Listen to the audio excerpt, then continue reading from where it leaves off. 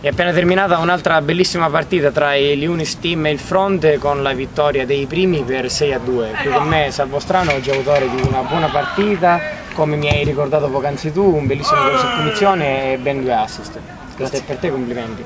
Allora, analizziamo la partita, fondamentalmente un primo tempo abbastanza buono, a parte la disattenzione dei primi 30, primi 30, secondi Perfetto. che comunque poi fortunatamente è stata pienamente recuperata. Eh, nel secondo tempo siete calati vistosamente, avete dato molto spazio agli avversari per poi riprendervi a fine partita. Eh, sì, siamo calati vistosamente perché due settimane che non giochiamo, io sono stato in vacanza quindi penso un po' sono tranquilli.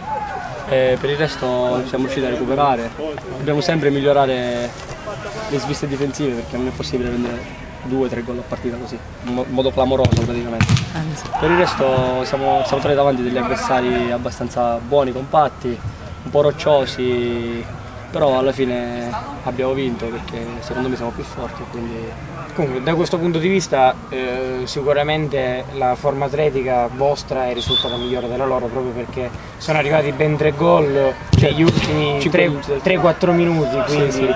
comunque la vera vittoria è arrivata proprio grazie a sicuramente la vostra migliore forma fisica. Eh, da un lato comunque voi portavate maggiore tecnica, loro magari sì, vabbè, maggiore abbiamo, difensiva. Abbiamo gente molto tecnica come Scapellato, autore di ultima partita, Calini, così, a Basile.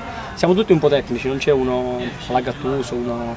siamo tutti tecnici, ci divertiamo, speriamo di vincere.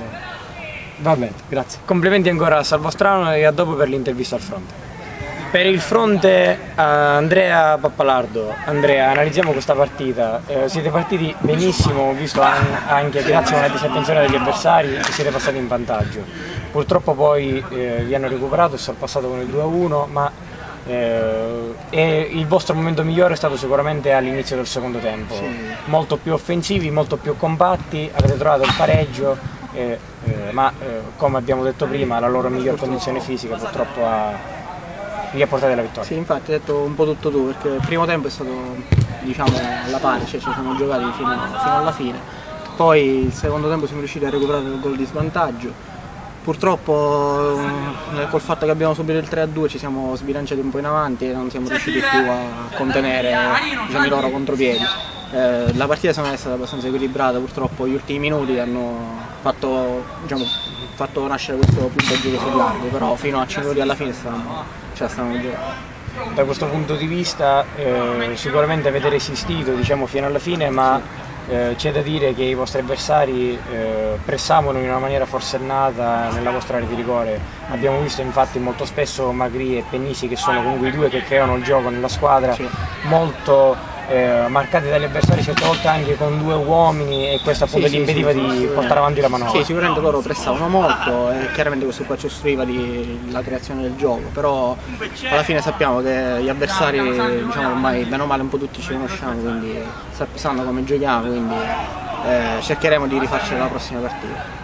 Grazie allora Andrea Pappalardo, per questa sera è tutto ci vediamo mercoledì.